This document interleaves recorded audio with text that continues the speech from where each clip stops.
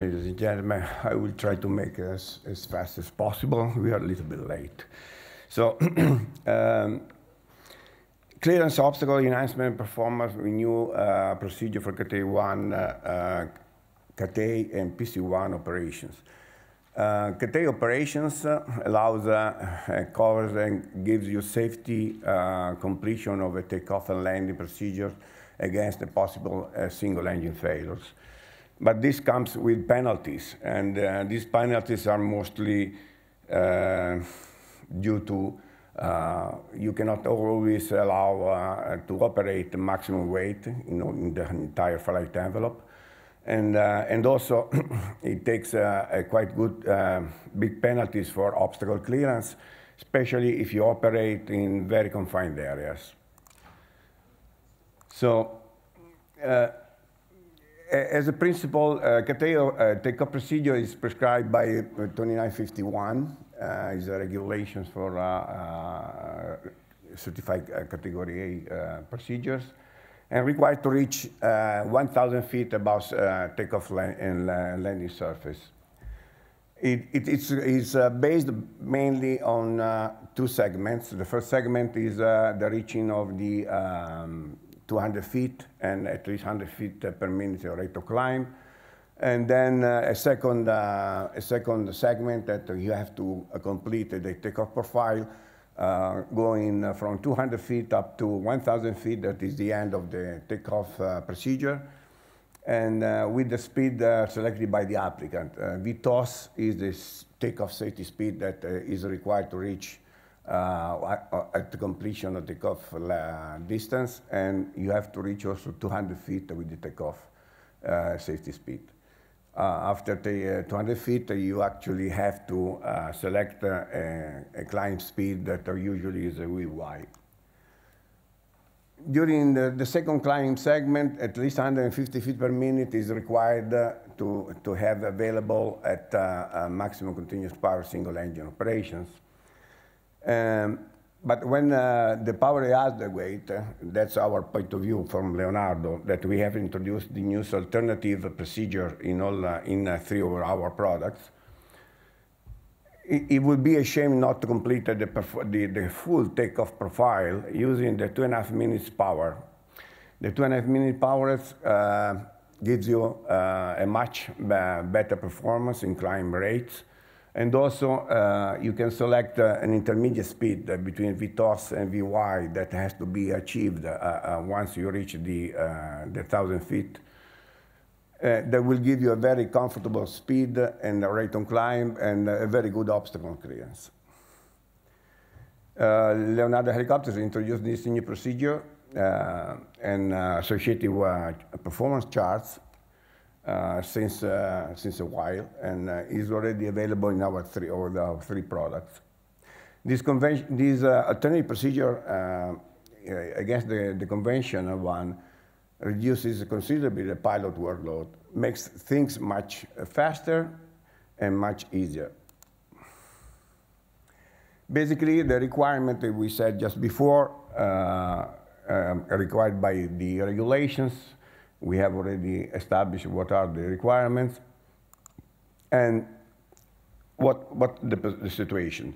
If you operate uh, all engine operations, you have uh, the best uh, rate of climb, the best uh, obstacle clearance, and uh, basically this is also the, uh, the operation you have to do when you are PC2 instead of PC1 this is the best performance you could achieve because it doesn't take into account any possible single engine failures.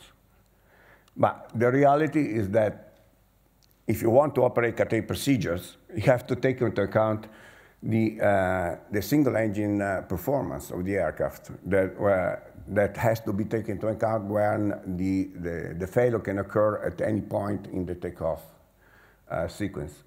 So that means that once you have to take into account the single engine uh, performance of the aircraft, you actually have to, uh, to, to, to, think and, and uh, to schedule a profile that is uh, like uh, what is required, the minimum requirement from the regulations, that you have to achieve the v, uh, VTOSS at 200 feet, then level accelerations to VY, and then you have to schedule the, at least the minimum performance required of Vy using the maximum continuous power.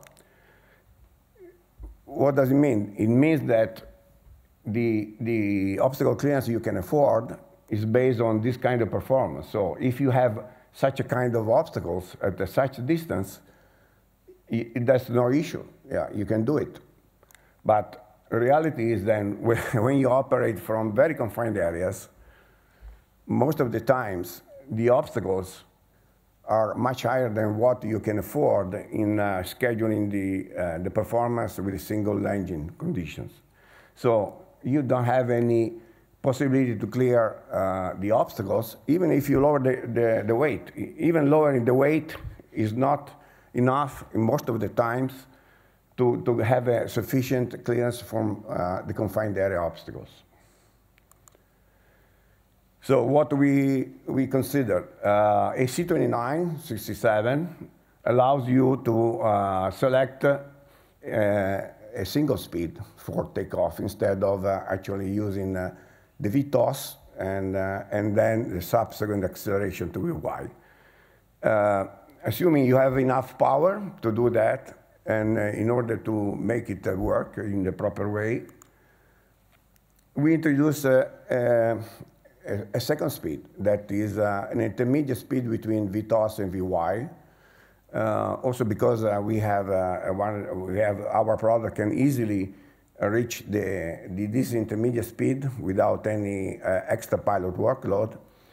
And, and this is also the, the most efficient speed for uh, taking off uh, uh, in terms of climb gradients and, and, and speed. And allows us to use the entire two and a half minutes rating to reach the, the, the, the end of the takeoff profile and uh, also having still having uh, time um, available to accelerate the aircraft to VY.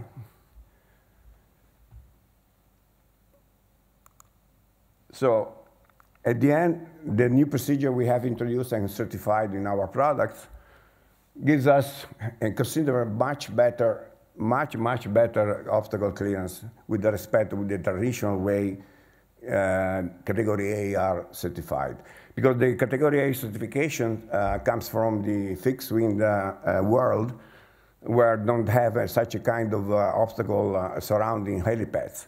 So I think it's better, it's time also to consider Uh, performance for the helicopter world that are more suited for, uh, uh, for helicopters than rather than fixed wing. So our procedure allows us, as you see from this, this chart, to have a much steeper uh, climb, climb profile up to 1,000 feet, easy, much easy. You don't, you don't have to change continuously um, flight conditions. Uh, and then uh, once you reach the 1,000 feet, you, you, still have uh, power and time available to reach the VY that is, uh, uh, by regulations, the end of the takeoff. And if you consider the distances implied uh, uh, with the two procedures, the traditional procedures and uh, the new alternative procedure we have certified, there is a considerable difference, especially if you have, uh, you, take, uh, you just consider the, the end of path one to the end of path two when you reach 1,000 feet. This is a, a comparison we made with the same aircraft in the same conditions, flight conditions, and same weight, and the distance between uh, the, two, uh, the two procedures that we have uh, selected is, is very, very big. So the distance from uh, path two is at three, more than 3.6 kilometers, plus 7 to 20 for accelerations. With respect to the, with the new procedure is only just above uh, 1.5 kilometers. So, but the we haven't completed actually. Uh, we didn't just stop to these new procedures. Um, we know that the, the uh, obstacle clearance uh, must be guaranteed also beyond 1,000 feet after uh, above takeoff profile. And that's what we actually take into account in our procedure is also to provide informations uh, to the pilot in order to actually make sure that he's available, he has available all the performance charts that allow him uh, to provide obstacle well beyond a thousand feet uh, above the takeoff uh, surface. And uh, we actually produce a, a, very, very useful app that allows to better consider a, a schedule performance in, uh, in very close environments like uh, confined area helipads surrounded by hills. and what we have provided is an app that allows uh, the pilot to actually uh, schedule the, the TDP in terms of weight and height uh, with respect to the, uh, the helipad and also the, take into account all the possible obstacles that are uh, both within the 1,000 feet uh, required regulations, much, but also well beyond the 1,000 feet. It, can actually provide uh, information as far as the performance uh, in order to climb at the desired altitude, take into account any obstacle that is well beyond the 1,000 feet uh, height required by the regulations.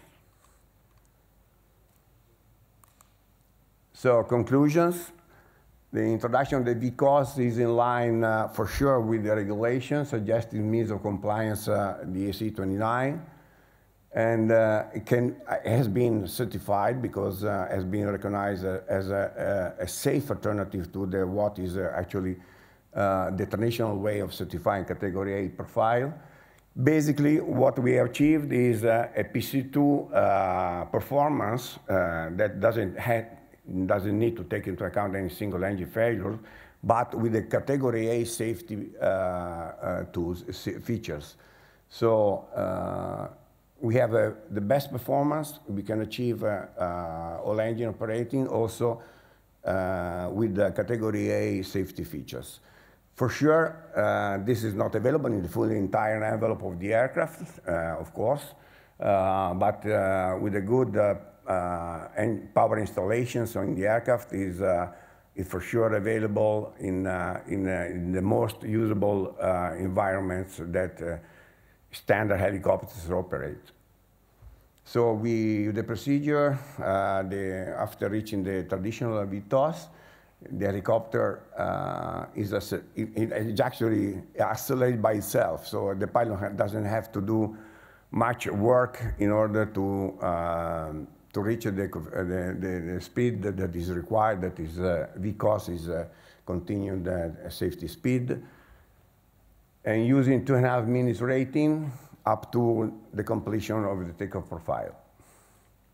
Uh, we keep guaranteeing the maximum, uh, the um, 150 feet uh, rate of climb capability using the single engine MCP power at VY as required by the regulations. And also we provide much um, more information, pro, uh, much more uh, performance information um, beyond the, the, the, target 1,000 feet in order to make sure that the, the cuff profile can, can take into account obstacle clearance uh, in the whole uh, climb profile to the desired cruise altitude. So I did uh, as far as, as fast as I could in order to recover some time. So that's it. Thank you. Thank you for your attention.